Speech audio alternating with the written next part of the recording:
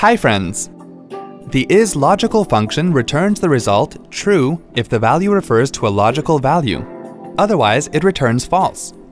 Let's see how the ISLOGICAL function can be used in Microsoft Excel. Open the desired Excel worksheet. Here, for demo purpose, we are using a worksheet according to the ISLOGICAL function. The ISLOGICAL function syntax has the following argument. Value is the value that you want to test. Value can be a blank or empty cell, error, logical expression, text, number, reference value, or a name referring to any of these that you want to test. We are also showing you the description of each function we're going to use here.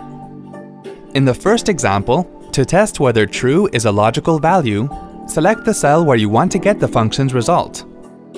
Type equals ISLOGICAL, open parentheses, true, close parentheses, and then press the Enter key.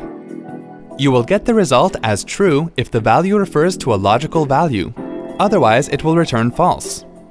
In the second example, to test whether open quotes, true, close quotes is a logical value, select the cell where you want to get the function's result. Type equals ISLOGICAL, open parentheses, open quotes, true, close quotes, close parentheses, and then press the Enter key.